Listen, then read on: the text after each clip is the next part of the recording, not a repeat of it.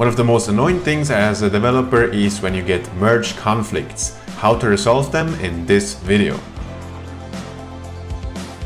If you're a programmer, especially if you work in a team, you will come across merge conflicts. In this video, we will talk about how it occurs and how you can resolve them. So here we have a little project with two JavaScript files and we will only change the index.js. So unchanged.js will stay the same. So you can see in the following video, the merge conflicts will only happen on the files where we do changes. So in the index.js. So merge conflict happens if your git head is out of sync. So now we will simulate that. So we will go here to add a new branch, which we will call develop. And we will push that to GitHub. By the way, all the changes I do with the graphical user interface here on VS Code can also be done on the terminal. But we will stick to doing the git commands with VS Code.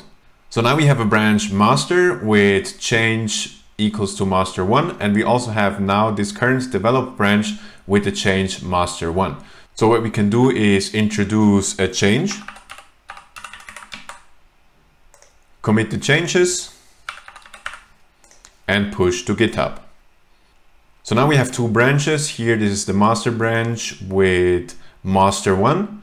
And then also we have the develop branch here, which has develop one. So what we would do normally now is merge develop into master and everything would work. But let's simulate a merge conflict. So if you go back here to our project and check out to master, so we're now on the master branch, we can introduce a change here again, commit the change and push to GitHub. And now our Git head is out of sync because Git doesn't know what the actual most recent change is, if it's master 2 or if you go to develop, if it's develop one. So we need to tell GitHub which of those it is. So what we can do is we can now try to merge develop into master. We can do that in two ways, either through GitHub, but first we will do it here on VS Code. So if you go here to source control, merge branch, master, you see there are merge conflicts, resolve them before committing. So now we have to tell Git which of those we want. So we have current changes and incoming changes.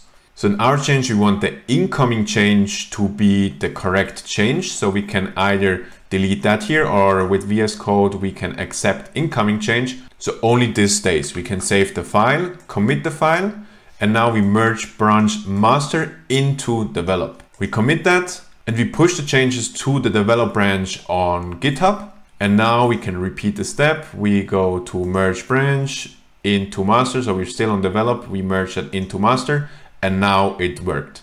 So now our develop branch has master 2 and also our master branch has master 2.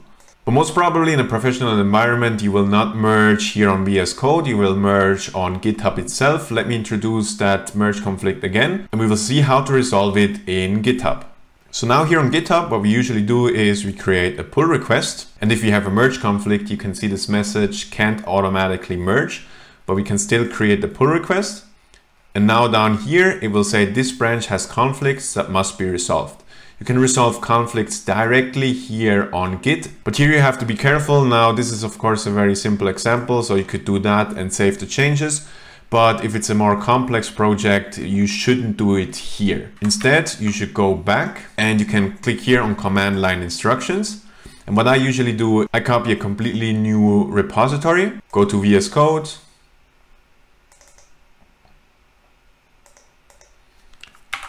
clone the repository,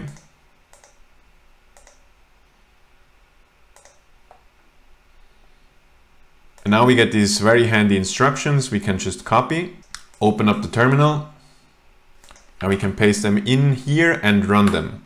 So you can see it says merge conflict in index.js. So if you go here to our source control, we can see the same thing as we have seen before. Let's now accept the current changes. So the changes of the development branch, save that, commit that and merge master into develop, the same thing as we have done before. Then now because we want to commit the changes we have done in the develop branch, there are no changes to commit. So this is this error message. There are no changes to commit. So we can create an empty commit. which will sync the git head, even though there are no real changes that we have committed. So we can push them again to GitHub. And now if you go back to GitHub and refresh the page,